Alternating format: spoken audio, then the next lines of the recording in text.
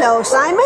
This is Simon at the Baldwin Park Shelter, whose ID number is A4908366. He's a little male uh, brown, very interesting brown color, of a short-haired Chihuahua. He's a young puppy, 10 months old.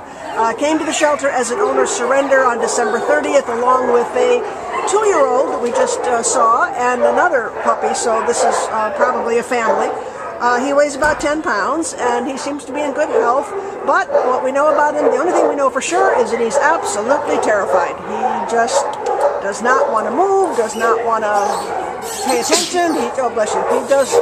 He's just a poor little guy. He's just scared. What do you, what do you think, Jeanette? Is yeah, he just needs um, he needs a patient person to kind of get him out of his shell. He's Yeah. just he this environment's not good for him. No, he, he needs somebody who's experienced with uh, with a you know a dog that's that's going to need some like you say some patience and some time.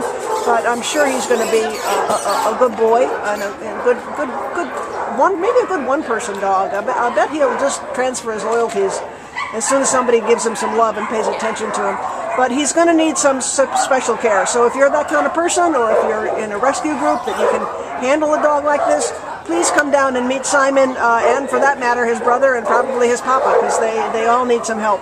Uh, come on down and meet Simon at the Baldwin Park Shelter. He's available right now. He came in on December 30th. So, bye, sweet pie.